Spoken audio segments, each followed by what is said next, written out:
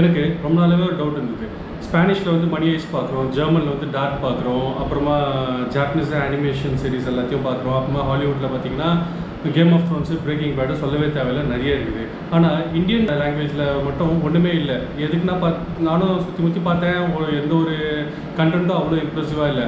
அப்படி இருக்கும்போது கஷ்டமாகவே இருந்தது. நம்ம யார்கிட்டயாவது வெளில போய் சொல்கிறதா இருந்தால் இந்தியன் சீரிஸ் ஒன்று சூப்பராக இருக்குது. அதை வந்து நீங்கள் பார்த்தே ஆகணும்.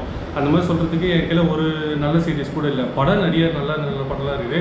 வெப் சீரிஸில் சொல்கிறேன் ஏன்னா இப்போ இதுதானே நம்மளுக்கு புதுசு. இந்த டைம் தானே வந்திருக்கிறோம் நம்ம இந்த ஓடிடி பிளாட்ஃபார்முக்கு அப்படி இருக்கும்போது மே ஃபிஃப்டீன்த்து டூ தௌசண்ட் டுவெண்ட்டியில் ஒரு சூப்பரான ஒரு சீரிஸ் ஒன்று ரிலீஸ் ஆகிருக்கு அந்த சீரிஸ் பேர் தான் பாத்தால் லோக் ஏன் இந்த சீரீஸ்க்கு இவ்வளோ பெரிய ஹைப் தேவையான்னு கேட்டால் கண்டிப்பாக இது அவ்வளோ ஒர்த்தான ஒரு சீரீஸு ஏன்னா நம்ம இந்தியாவில் என்னென்னலாம் நடக்குது மே அண்டர் கிரவுண்டில் எப்படி ஒர்க் ஆகுது மிடில் கிளாஸ் மேன் எப்படி ஒர்க் ஆகிறாங்க ஹை சொசைட்டி பீப்புள் எப்படி ஒர்க் ஆகிறாங்கன்னு சொல்லிட்டு ஒரு பியூட்டிஃபுல்லான நரேஷன் தான் இந்த சிக்ஸ் ஹவர்ஸ் கண்டென்ட் உள்ள பத்தால் லோக் இந்த சீரிஸ் நான் எப்படி பார்த்தேன்னு சொல்லிடுறேன்.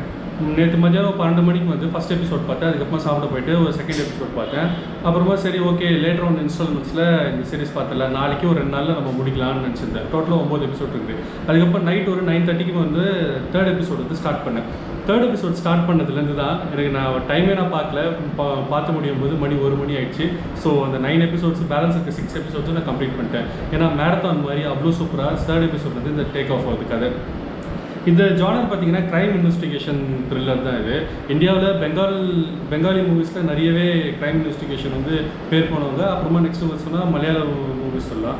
பட் ஹிந்தியில் இது வரைக்கும் அந்த மாதிரி வந்திருக்கான்னு கேட்டால் சீரீஸில் சொல்கிறேன் இது வரைக்கும் வந்ததே இல்லை. இந்தியாவிலேயே வெப் சீரிஸ்லேயே ரொம்ப முக்கியமான கடைசி வரைக்கும் நம்ம எல்லாருமே வந்து ஞாபகம் வச்சுருக்க மாதிரி இருக்கிற சீரிஸ் தான் இந்த வெப் சீரிஸில் அமேசான் கிடைச்சனா பத்தாள் லோக்கு இப்போது இந்த சீரிஸோட ஸ்டார்டிங் ஒரு பத்து நிமிஷம் கதையை மட்டும் பார்த்துடலாம். மற்றது எதுவுமே நான் சொல்ல மாட்டேன். இப்போவே சொல்லிடுறேன். ஸோ எந்த ஒரு ஸ்பாய்லர்ஸும் இல்லை. ஏன்னா இந்த நான் எது சொன்னாலும் வந்து லீக் ஆகிற மாதிரி இருக்கும் கதை. ஸோ எதுவுமே நான் சொல்லலை. ஃபஸ்ட்டு ஒரு டென் மினிட்ஸ் மட்டும் நான் சொல்லிடுறேன். ஒரு நாலு பேர் வந்து ரூம் எடுத்து தங்குறாங்க. அது ஏன் தங்குறாங்கன்னா ஒருத்தர் இந்தியாவில் டாப் ஜேர்னலிஸ்ட்டாக ஒருத்தர் வந்து இருக்கிறாரு. அவர் வந்து நம்ம போட்டு தள்ளணும்னு சொல்லிட்டு அவங்களுக்கு வந்து ஒரு டாஸ்க் சொல்லியிருக்காங்க. ஸோ அதை வந்து போட்டு தள்ளுறதுக்காக அவங்க வந்து நாலாவது நாள் வந்து கிளம்புறாங்க. மூணு நாள் வந்து ரூம் எடுத்து தங்கிட்டு நாலாவது நாள் கிளம்புறாங்க. அப்படி கிளம்பும்போது அவங்க போட்டு தள்ளணும்னு போயிட்டு இருக்கும்போது போலீஸ் வந்து ரவுண்ட் அப் பண்ணி ஷூட் பண்ணிடுறாங்க. போலீஸ் வந்து ரவுண்ட் அப் பண்ணிடுறாங்க. அப்போ வந்து அங்கே மீடியா இருக்கிறதால ஸோ ஷூட் பண்ண வேணாம் என்கவுண்டரில் எதுவும் பண்ண வேணாம். ஸோ அரெஸ்ட் மட்டும் பண்ணிடுறாங்க. நாலு பேர் இருக்காங்க. ஓகேங்களா இவங்க யாரை கொல்ல வராங்கன்னு கடைசியில் விசாரிக்கும் போது தெரியுதுன்னா டாப் ஜேர்னலிஸ்ட் சொன்னேன் இல்லைங்களா? அவர் வந்து கொல்ல வராங்க. பட்டு ஒரு இவங்க வந்து ரவுண்ட் அப் பண்ண ஏரியா பார்த்தீங்கன்னா ஒரு பிரிட்ஜில் ஒன்று ரவுண்ட் அப் பண்ணுவாங்க போலீஸு அப்போ வந்து ஒருத்தர் மட்டும் கார் மேலே ஏறி நின்று ஒரு செல்ஃபோன் வந்து தண்ணியில் தூக்கி போட்டுருவான். அவ்வளோதான் இப்போ தான் வந்து படத்தோட அந்த சாரி அந்த சீரீஸோட பேரே போடுறாங்க.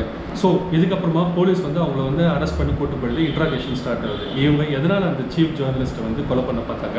அதுக்கப்புறமா நடக்கிறது தான் இந்த பேலன்ஸ் இருக்கிற ஒம்பது எபிசோடு நான் உண்மையாக சொல்கிறேன் ஒம்பது எபிசோடும் அவ்வளோ ப்ரில்லியண்ட்டாகவும் நம்மளுக்கு நெக்ஸ்ட் நெக்ஸ்ட் என்னன்னு சொல்லிட்டு அவ்வளோ ஃபாஸ்ட்டாகவும் எங்கேஜிங்காகவும் போயிட்டுருக்குது. இந்த சீரிஸோட முக்கியமான ப்ளஸ் பாயிண்ட்ஸை பார்த்துடலாம். ஃபஸ்ட்டு வந்து ஆக்டிங் சொல்லலாம். ஜெய்தீப் சௌத்ரின்ற கேரக்டர்லையும் நீரஜ் கபீப் சஞ்சீவ் மேரா கேரக்டரில் ஜேர்னலிஸ்ட்டாக நடிச்சிருப்பார். அவர் ஜெய்தீப் வந்து ஒரு போலீஸ் இன்ஸ்பெக்டராக நடிச்சிருப்பார். ரெண்டு பேரோட ஆக்டிங்கு நான் சொல்கிறேன் நீங்கள் ஃபே ஃபேஸ் வந்து ஃப்ரெஷ்ஷாக இருக்கிற மாதிரி இருக்குது அந்த மாதிரிலாம் இருக்குது எங்கேயோ பழகின மூஞ்சி மாதிரி தான் இருக்கும்.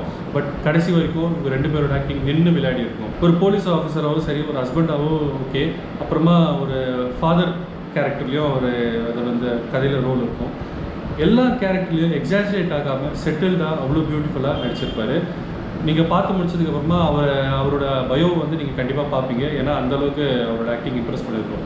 நெக்ஸ்ட் அந்த சஞ்சீவ் மேரா அந்த ஜேர்னலிஸ்ட் கேரக்டர் சொன்னீங்க சொன்னேன் இல்லைங்களா? இப்போ ஒரு ஃபார் எக்ஸாம்பிள் என்டிடிவி சிஎன்என் அப்படி இருக்கிற இடத்துல ஒரு சீஃப் எடிட்டர் ஜேர்னலிஸ்ட்டு எப்படி இருப்பாங்களோ அவங்க நடக்கிறது அவங்க பேசுறது அவங்க பேசுகிற இங்கிலீஷ் ஸ்லாங்கு அவங்க பேசுகிற கெட்ட வார்த்தை கூட அவ்வளோ பியூட்டி ரொம்ப கேட்கறதுக்கு அவ்வளோ சூப்பராக இருக்குது. ஏன் சொல்கிறேன்னா அவ்வளோ பியூட்டிஃபுல்லாக இந்த சீரீஸில் டைலாக் ரைட்டிங்கில் அவ்வளோ இம்பார்ட்டன்ஸ் கொடுத்துருப்பாங்க. நெக்ஸ்ட் ப்ளஸ் பாயிண்ட் லொக்கேஷன்ஸ் இது மூணு கேட்டகரியாக பிரிச்சுக்கலாம். ஒன்று வந்து அப்பர் கிளாஸ் ஒருத்தர் வந்து மிடில் கிளாஸ் ஒருத்தர் வந்து லோவர் கிளாஸ் அப்பர் கிளாஸோட லைஃப் ஸ்டைல் லொக்கேஷன்ஸ் தெரியும் இல்லைங்களா?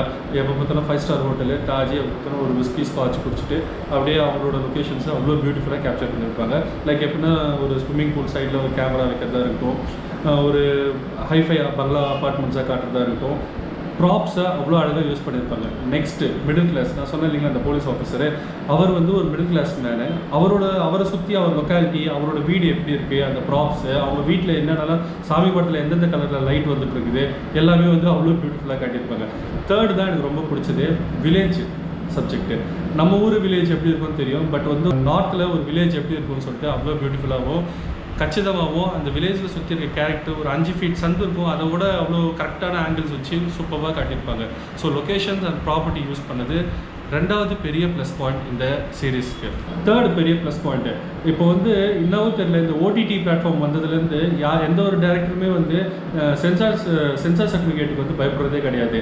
நான் இஷ்டத்துக்கு எடுத்து தரலாம்ப்பான்னு சொல்லிட்டு அசிங்க பேசுறது நியூடிட்டி சீன்ஸ் வைக்கிறது அந்த மாதிரி இல்லாமல் கதைக்கு என்ன தேவையோ எந்த ஒரு விதத்துலையும் காம்ப்ரமைஸ் பண்ணாமல் அவ்வளோ கரெக்டாகவும் வச்சுருக்காங்க. இப்போது ரெண்டு மூணு இமேஜஸ் காட்டுறேன். அது காட்டுறதுக்கு முன்னாடி முதலே ஒரு வார்னிங் கொடுத்துட்றேன். நீங்கள் சின்ன பசங்களாக இருந்தீங்கன்னா கண்டிப்பாக பார்க்காதீங்க. ஏன்னா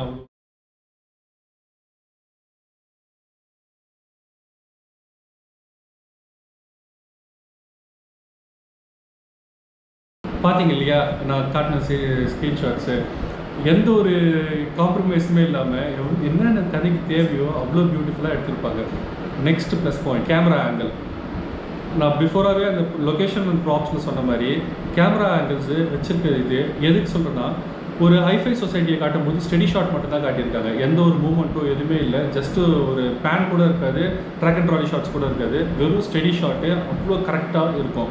இதே நான் அந்த ரூரல் ஏரியா சொன்னேன் இல்லைங்களா அந்த வில்லேஜ் சப்ஜெக்டில் வில்லேஜ் சப்ஜெக்டில் ஓடுறது சேஸு அடிச்சு பிடிச்சின்னு போகிறது அவ்வளோ சூப்பராகவும் அந்த ஒரு ரேசி ஃபீல் எடுத்துகிட்டு வரதுக்காக கேமரா ஷாட்ஸு நிறைய ஷோல்டர் ஷாட்ஸ் யூஸ் பண்ணியிருக்காங்க நெக்ஸ்ட் இதில் இன்னொன்று ஒரு கேமராலேயே ஒரு பெரிய ப்ளஸ் பாயிண்ட்டு ஒரு ரெண்டு மூணு ஸ்டன் சீக்வன்ஸ் இருக்குது.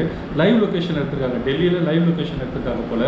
ஒரு கேரக்டர் வந்து ஓடிட்டுருப்பாரு. அதை சேஸ் பண்ணுறதுக்கு இன்னொரு கேரக்டர் போவோம். ஆனால் இந்த பக்கம் வந்து இந்த இந்த சைட் ஆஃப் பிளாட்ஃபார்மில் வந்து கேமரா டீம் வந்து ஓடி இருக்காங்க போல். அந்த சீன் எப்படி தான் எடுத்தாங்கன்னு எனக்கு தெரியல. பட் பியூர் அண்ட் பியூர் அது லைவ் லொக்கேஷன் ஏன்னா அதில் பா பார்க்கும்போதே தெரிஞ்சு நிறைய பேர் வேடிக்கை நின்று பார்த்துட்டு இருக்காங்க. ஏன்னா அது எத்தனை டேக் போயிருக்காங்க கூட தெரியல. அவ்வளோ கரெக்டாகவும் அந்த ஷார்ட்ஸ் வந்து வந்திருக்குது. கொஞ்சம் பேர் நடுவில் வந்தால் கூட இந்த ஷார்ட் வந்து ஸ்பாயில் ஆகிறதுக்கு சான்ஸ் இருக்குது. அந்த ஷார்ட்டை எனக்கு ரொம்ப ரொம்ப ரொம்ப ரொம்ப பிடிச்ச ஷார்ட்டு இந்த சீரீஸ்லேயே சொல்லலாம். மேஜர் ப்ளஸ் பாயிண்ட்டு ப்ளாட்டு நான் சொன்னது வெறும் பத்து நிமிஷம் கதை தான். இந்த இன்வெஸ்டிகேஷனை வந்து கடைசி வரைக்கும் எடுத்துகிட்டு போகிறது ரொம்ப கஷ்டமான ஒரு விஷயம். ஏன்னா ஒரு சீரீஸ் இருக்கும்போது தேவையில்லாத நிறைய சீரீஸ் வச்சுட்டு நம்ம வந்து குழப்ப பார்ப்பாங்க. அது வந்து ஏன்டா இது நம்மளுக்கே தெரிஞ்சிடும் ஒரு விதத்தில். இவரை கண்டிப்பாக நம்ம குழப்பிட்டு தான் இருக்காங்க. கடைசியில் இவனாக தான் இருக்கும் பாருன்னு. இதில் கூட ஓரளவு கெஸ் பண்ணிடலாம். இவனாக தான் இருக்கும் இவனாக தான் இருக்கும். நீங்கள் ரொம்ப இன்டெலிஜென்ட்டாக இருந்தீங்கன்னா கெஸ் பண்ணிடலாம். ஆனால் உங்களோட கெஸ்ஸிங்ஸையும் கரெக்டாக வச்சு கெஸ்ஸிங்ஸையும் மதித்து டேரக்ட் ஒரு விஷயத்தை ப்ளே பண்ணியிருப்பாரு. அதை நீங்கள் பார்த்தீங்கன்னா உங்களுக்கே கண்டிப்பாக புரியும். அடுத்த ப்ளஸ் பாயிண்ட் இந்த சீரிஸோட லாஸ்ட் எபிசோடு ஏன் இந்த லாஸ்ட் எபிசோடை பற்றி நான் தனியாகவே சொல்கிறேன்னா ஒரு வீடு கட்டிகிட்டு இருக்கும்போது கூட எவ்வளோ தான் பெரிய வீடு கட்டினாலும் அது வந்து பில்டிங் ஸ்ட்ரக்சர் சூப்பராக வந்துச்சு எல்லாமே பர்ஃபெக்ட்டு வந்து சரியான ஷேப் அப்பில் வந்துருக்குது எல்லாமே ஃபைன் கடைசியில் அந்த பெயிண்டிங்கில் தான் நம்மளோட ஆர்டிஸ்டிக் ஒர்க்கே தெரியும். ஸோ இந்த லாஸ்ட் எபிசோடு வந்து அந்த பெயிண்டிங் மாதிரி வச்சுக்கலாம். இவ்வளோ தூரம் பில்ட் பண்ணதுக்கு அந்த பெயிண்டிங் ஒர்க் மாதிரி ஒரு பில்டிங்க்கு எவ்வளோ முக்கியத்துவம் கொடுக்குதோ அதே மாதிரி இந்த கடைசி எபிசோடு இந்த சீரீஸ்க்கு ஏன்னா கடைசியில் நீங்கள் வந்து அப்படியே மேஜரான பிளா பிளா பிளா எண்டிங்லாம் இல்லாமல் கரெக்டாக ப்ரிசைஸாக கொடுத்துருக்குற எண்டிங் தான். ரொம்ப முக்கியமான ப்ளஸ் பாயிண்ட் இந்த சீரீஸ்க்கு இந்த சீரீஸ் நான் சொன்ன உடனே டக்குன்னு நீங்கள் போயிட்டு வெப்சைட்டில் சர்ச் பண்ணிங்கன்னா கூகுளில் பார்த்தீங்கன்னா ஃபிஃப்டி செவன் பர்சன்ட் தான் கூகுள் யூசர்ஸ் வந்து லைக் பண்ணியிருப்பாங்க. நாற்பத்தி மூணு பர்சன்ட் வந்து லைக் பண்ணாமல் போயிருப்பாங்க. ஏன் எதுக்கு பார்த்தீங்கன்னா ஃபைவ் ஸ்டார் ரேட்டிங்கோ ஒன் ஸ்டார் ரேட்டிங்கோ ஈக்குவலாக இருக்கும். அந்த அளவுக்கு இருக்கும். ஏன் கேட்டிங்கன்னா இதில் நிறைய ஹிந்துயிசம்க்கு அகெயின்ஸ்டாக கொஞ்சம் கொஞ்சம் விஷயம். நிறைய கிடையாது. கொஞ்சம் கொஞ்சம் விஷயம். அதுவும் கரெக்டாக சொல்லியிருப்பாங்க. நான் ஹிந்து தான் முஸ்லீம் கிடையாது. ஆனால் இது சொன்ன விதம் கரெக்ட் தான். உண்மை தான் ஒத்துக்கலாம். இது ஏன் இது கான்ட்ரவர்சியாக நான் பேசுகிறேன்னு பார்க்குறீங்கன்னா உண்மை. எதுவாக இருந்தாலும் உண்மையை நம்ம ஒத்துட்டு தானே இங்கே ஆகணும். அதனால தான் இந்த சீரீஸ்க்கு வந்து நிறைய பேர் வந்து ஒன் ஸ்டார் கொடுத்துருக்காங்க. அதுக்கப்புறமா நிறைய பேர் ஃபைவ் ஸ்டார் கொடுத்துருக்காங்க. ஃபைவ் ஸ்டார் கொடுத்தவங்க ரேட்டிங்லாம் பார்த்தீங்கன்னா வேர்டில் எழுதி ரிவ்யூ பண்ணியிருப்பாங்க. ஒன் ஸ்டார் கொடுத்தது பார்த்தீங்கன்னா ஏன்னா பிடிக்கவே இல்லைப்பா. இவங்க சொன்ன விஷயமே எனக்கு இந்த சீரீஸில் பிடிக்கல. என்ன இப்படியா நாங்கள் பண்ணுறோம் அப்படி இல்லை. நீங்கள் இப்படி பண்ணீங்க. அதனால தான் அதில் காட்டியிருக்காங்க. அதுவும் வந்து அழுத்தி காட்டாமல் போகும்போது அப்படி சொல்லியிருக்காங்க. டக்குன்னு இந்த டேரக்டர் யார்? அவர் வந்து இந்துவுக்கு அகேன்ஸ்டாக கிறிஸ்டியானிட்டிக்கு அகேன்ஸ்டாலாம் பார்க்காதீங்க. இது கதை. இந்த கதையில் தேவைப்பட்டது அதை வந்து அவங்க கரெக்டாக சொல்லியிருக்காங்க. கதையை கதையாக பார்த்துட்டு நம்ம மறந்துடலாம். ப்ளீஸ் இந்த ஏன்னா ஒரு நல்ல படைப்பு வந்து நிறைய பேர் வந்து நான் ரிவ்யூ பண்ணிட்டேன் ஓகேங்க. நிறைய பேர் ஜென்ரலாக கூகுளில் சர்ச் பண்ணும்போது என்னப்பா இது? ஃபிஃப்டி செவன் பர்சன்ட் தான் கூகுள் பீப்பிள் லைக் பண்ணியிருக்காங்க. நாற்பத்தி மூணு பேர் நாற்பத்தி மூணு பர்சன்ட் வந்து நல்லாவே இல்லைன்னு சொல்லியிருக்காங்கன்னு சொல்லிட்டு ஸ்கிப் மட்டும் பண்ணிடாதீங்க. ஹைலி ரெக்கமெண்டட் ப்ளீஸ் பாருங்கள் அப்போ தான் வெப் சீரிஸ் வந்து நாளைக்கு வந்து நம்ம வந்து மணி ஐஸ்டியோ டார்க்கையோ மற்ற பிரேக்கிங் பேடையோ கட்டிட்டு அழுவுறதை விட இந்த மாதிரி சீரிஸை வந்து பார்த்து என்கரேஜ் பண்ணி முக்கியமாக ட்ரைலர் மட்டும் பார்த்துறாதீங்க ஏன்னா நான் இந்த சீரிஸ் பார்க்கறதுக்கு முன்னாடி ட்ரைலர் பார்க்கல கடைசியில் தான் ட்ரைலர் பார்த்தேன் ஐயோ அவ்வளோ ஸ்பாயிலர்ஸ் கொடுத்து வச்சிருந்தாங்க. ஏன்னா நான் அதை கூட உங்களுக்கு வந்து பிரேக் பண்ணி அந்த ஒரு இன்டென்சிட்டியை வந்து உங்களுக்கு வந்து குறைக்க வேணாம்னு நினைக்கிறேன். ரொம்ப வா- இப்போலாம் ட்ரைலர்லேயே பார்த்தீங்கன்னா ஃப்ரேம் பை ஃப்ரேம் ஃப்ரீஸ் பண்ணி பார்க்குற ஆளுங்களாம் இருக்காங்க. அதுக்கப்புறமா ஏன் ட்ரைலர் அப்படி பார்க்குறது படம் ஏன் பார்க்குறது வேஸ்ட்டு தானே. ஸோ அந்த மாதிரி பார்க்காதீங்க ட்ரைலர் பார்க்காம டேரெக்டாக போய் சீரிஸை பாருங்கள் இது அமேசான்லேயே இருக்குது அமேசான் ஒரிஜினல் இது. அனுஷ்கா சர்மா வந்து எக்ஸிக்யூட்டிவ் ப்ரொடியூசர் நினைக்கிறேன். அது வந்து ரொம்ப ப்ரொபகண்டா பண்ணி பேசிகிட்டு இருக்காங்க. நல்லது தான் ஓகே இந்த மாதிரி பெரிய ஆளுங்க வந்து இந்த மாதிரி சீரிஸை வந்து எடுத்தாங்கன்னா ரீச் ஆகிறதுக்கு ரொம்ப சான்சஸ் இருக்குது எனக்கு ஒரு தனிப்பட்ட கருத்து. இந்த விசாரணை படத்தில் ஒரு போலீஸ் ஸ்டேஷன் செட்டை அவ்வளோ சூப்பராக காட்டியிருப்பாங்க. ஏன்னா நான் இது வரைக்கும் பார்த்த இன்வெஸ்டிகேஷன் படத்தில் விசாரணை வந்து டார்க்காவோ ஹார்ட் ஹிட்டிங்காவோ இருந்தது. இந்த படம் ஹார்ட் ஹிட்டிங்காலாம் எதுவும் கிடையாது. சாரி சீரியஸ் ஹார்ட் ஹிட்டிங்காலாம் எதுவும் கிடையாது. ஆனால் ஒரு போலீஸ் இன்வெஸ்டிகேஷன் இப்படி தான் நடக்குமா? ஒரு சிபிஐக்கு ட்ரான்ஸ்ஃபர் ஆனால் இந்த கேஸ் எப்படி போகும்? அதை வந்து போலீஸ் வந்து எப்படி ஏற்றுக்கிறாங்க சிபிஐ எப்படி ஒரு கேஸை ஹேண்டில் பண்ணுறாங்க அதெல்லாம் வந்து ரொம்ப பியூட்டிஃபுல்லாகவும் உண்மைக்கு ரொம்ப ரொம்ப ரொம்ப நெருக்கமாக சொல்லியிருப்பாங்க. இந்த சீரீஸில் நான் சொல்கிறேன் ரொம்ப வந்து சினிமேட்டிக்கோ கிளீஷியாவோலாம் எதுவும் இருக்காது. அப்படியே போலீஸ் வந்து அப்படியே நத்திங் அதெல்லாம் எதுவும் இல்லை.